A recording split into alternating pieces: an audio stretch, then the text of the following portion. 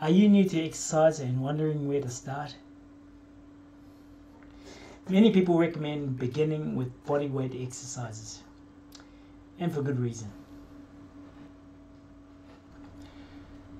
Bodyweight exercises are movements that use your own body as resistance rather than weights or machines. This means that you can do them anywhere, at any time, with no equipment needed. But are bodyweight exercises right for you as a beginner? Here are a few reasons to consider starting with bodyweight exercises.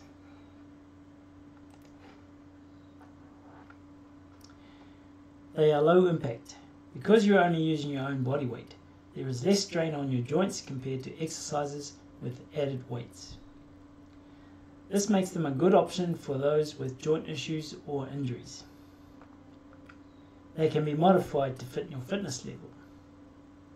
Bodyweight exercises can be made easier or harder by changing your position or the number of repetitions. This allows you to progress at your own pace and avoid overloading your muscles. They improve a functional movement. Bodyweight exercises such as push-ups and squats help improve your balance, coordination and range of motion.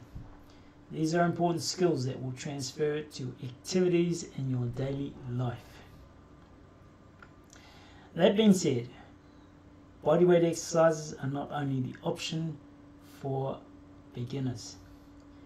If you feel comfortable with added weight, or if you have specific fitness goals in mind, it may be appropriate to incorporate weights or other equipment into your workouts.